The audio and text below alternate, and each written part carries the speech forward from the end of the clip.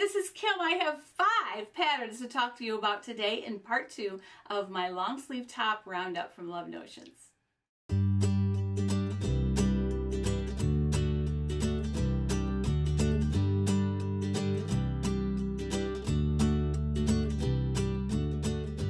Hi, this is Kim from Dorothy's Daughter. Welcome to my channel. If you like to take your sewing to the next level, you are in the right place. Love Notions is having their great sale today. It's 40% off of the whole site and the only thing excluded is the Arlington because it's a brand new release. And this is October 18th to 22nd. That's when the sale is of 2021. All right. So just so you know if you're in the right time frame or not. Also, I have the opportunity as a brand ambassador to nominate someone from my social network to be entered into the drawing for the serger or the sewing machine that they're giving away. Details about that are on their site, but I, also the person who is chosen will get a free pattern. So all you have to do is go to the links I give you each day, fill out your name and email address and what pattern you'd like. No purchase necessary. This is not sponsored by YouTube. This is not even sponsored by me. This is all sponsored by Love Notions. Okay, so uh, there are five parts to the series this week and every with every video, I'm giving you a link. So you'll have five chances to enter, okay? And you may enter once per video. All right, I have five patterns to talk to you about today. Several of them are my favorites. And a few of them, there aren't very many that I haven't made, but there's a few, and um, we'll get to that. All right, so first I want to talk to you about La Belladonna. This is probably my most frequently made uh, Love Notions pattern. And that's because it's easy to wear, easy to sew, quick sew, does not take a lot of fabric, and a few other things for gifting. I like it as well because it's a loose fitting top, so it does not need to have exact measurements to fit nice. So if you have a guesstimate of where somebody is, you could probably make a La Belladonna for them. More so than some other patterns anyway. So I'll just show you a few of mine. Now these are not long sleeve, but they certainly could be. Um, these are short sleeve. I also do wear these under jackets sometimes. So you can do banded or not. Short sleeve, long sleeve. Super easy, fun sew. All right, let me show you a long sleeve one. This one is the tunic version, and I just love it. Um, this fabric is cotton jersey blend, which is really nice for that pattern. A little bit drapey knit is nice for La Belladonna just because it a little bit of a drapey fabric is nice for La Belladonna because it does have a little bit of a flowy quality, especially if you put the band on. All right, I love the tunic. Um, this is a great, a great top. I've probably made this as a gift for people I don't know, four or five times. Um, this one as well, this is a rayon spandex. This one is double brush poly. So it just depends on what you like, uh, but I would stick with things that are a little bit drapey. Any mid-weight knit will work. Um, cotton lycra, ITY is really nice if you, especially if you do the band, because it's got that flowy, drapey quality to it. And this pattern is also available in girl sizes. So you could be match your daughter if you want to, all right, or your granddaughter or your niece. so um, great pattern, one of my favorites, a wardrobe staple. It's a dolman sleeve. Um, you can do banded, straight, short sleeve, long sleeve, cuffs, no cuffs. Um, runs the gamut. So enjoy that pattern because it's really one not to miss. The next one I want to talk to you about, people get scared of this one, but there's no reason to be, the Breckenridge. Breckenridge is a Henley, and it is just a basic Henley top, wonderful top, long sleeves you can do with cuffs, has several different views though, you don't have to do long sleeves, but um, I think that it really makes up nice in long sleeves. A lot of color blocking potential with Breckenridge. This comes in sizes extra small to 5X, so it's got the updated sizing, so it's very, very size inclusive. This is also a wardrobe staple, and I think the thing I like the most about Breckenridge is the possibilities for color blocking when you can do the trim and cuffs a little bit differently and um, there's a lot of potential there and, and, to get playful with the buttons also on the buttons that you don't have to make buttonholes if you don't want to you can uh, just sew them on because the neckline is definitely wide enough to not need those buttonholes all right, uh, for as far as fabric goes, this is a cotton jersey blend. Um, it breathes, and I like that in a long sleeve top. Um, you can do double brush poly. Uh, I would stick to a little bit mid to lightweight knit with this, just nothing clingy because it's going to be um, fit a little bit uh, closer to the body, so you don't want it, anything that will cling. All right. A great top, wardrobe staple again. Many of these long sleeve tops are wardrobe staples. I don't know what your favorite top is so far, but I just don't have a favorite. I have certain ones I like for certain things. Like I love La Belladonna for gifting. I love it for under jackets. I love the classic tee for all the things that I can do with it. I'm wearing one today. Um, I love the, the Laundry Day tee for the ease and the and the swinginess of it. My favorite thing with my Laundry Day tee is to make a bathing suit cover up. So each pattern has a lot of uses and um, it's just up to your lifestyle and how you do that.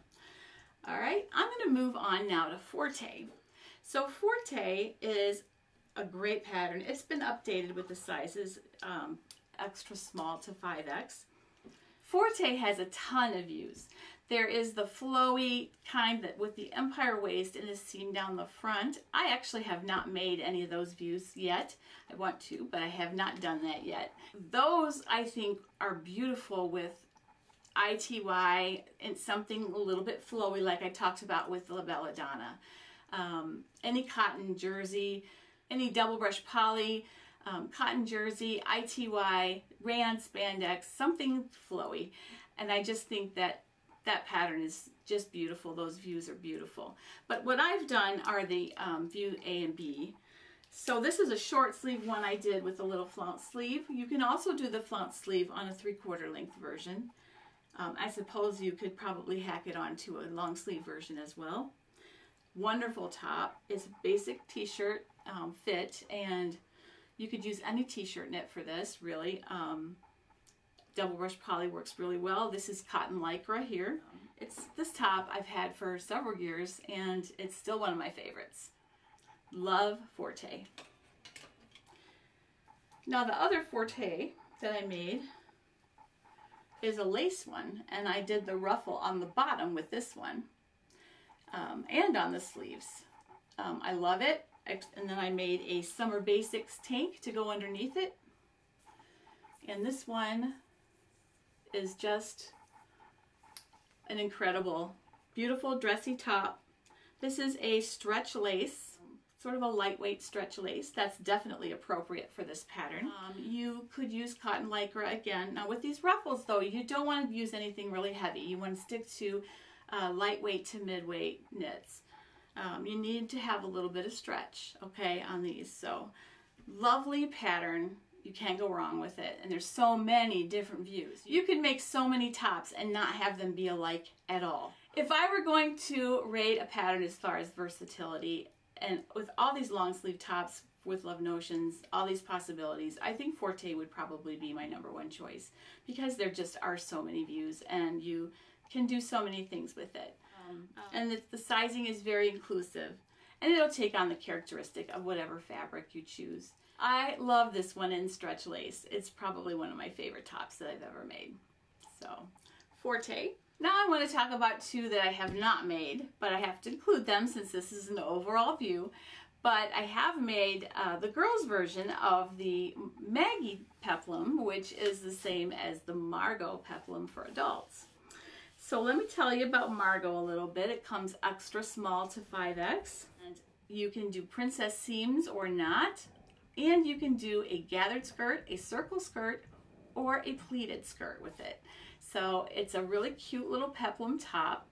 This um, one is appropriate with mid to stable weight knits, I would say. Wouldn't use anything really, really lightweight because of the structure of the peplum, especially the pleated view. It would be as beautiful in a ponte as it would be in like a cotton lycra or even um, a double brush poly. I would not make this one in an ITY just because it is more of a structured top.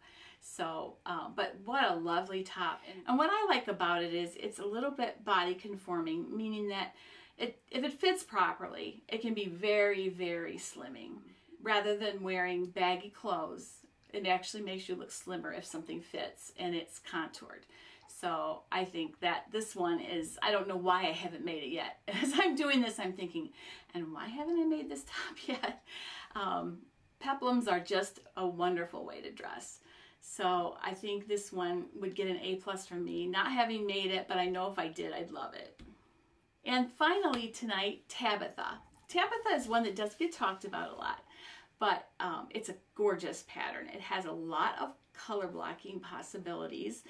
A little shirt detail that you can add to the bottom of it and you, there's a lot of possibilities with lace and color blocking and all kinds of beautiful things with the views of the Tabitha. I think Tabitha is a little bit similar to Tara, um, but it has a little bit more style choices to it. Now as far as fabric for Tabitha, um, it needs to be a 20% stretch. Um, so a, a, little bit more stable knit actually would work. Um, I think that you want to stick to your um, a little bit heavier like cotton lycra. Um, some double brush poly if it's a little bit heftier. You don't want anything that's going to be super clingy. Some ponte if it were lightweight enough you could use that. Just a really really pretty possibilities with that pattern. And um, the stretch lace would be also really nice for the color blocking as well as the um, shirt tail. So there's a lot of things you could do with Tabitha. All right? The, the sizing on that one is extra small to 4x it's it's one that has not been updated as of yet. Not sure if that's in the queue to be updated yet or not but I would suspect it probably is so I don't know why I haven't made that one yet. I guess that there's got to be a few that I haven't because I think I've made almost every other one. So, so anyway, that is Tabitha. So now I'm going to give you the link to go and enter the drawing, okay? So you want to go to, now there was some confusion yesterday. Some people couldn't access the link that I gave. So I want to be sure that you can access it. Um, so pay attention to the spelling here, okay? It's Dorothy's daughter dot info. I think some people might have been putting com, but it's info. Dorothy's daughter dot info, and then the slash, and then classic T, all one word, but the C is capitalized and the T is capitalized, okay? And that is going to take you right to the uh, entry form for part two. All right, so go ahead and enter on Friday at uh, 1 p.m. Eastern. I'm going to be on Facebook Live on the Dorothy's Daughter Facebook page and it'll be public. I'm not going to do it in the group because it, I, it needs to be public. And I'm going to spin the wheel and see who gets nominated from my social network to win a pattern and also be entered into Love Notions giveaway. All right. Thank you so much for everything, you guys. I'll be back with some more uh, long sleeve tops and um, we still have a lot to go in this series. So stay tuned. See you later. Happy sewing.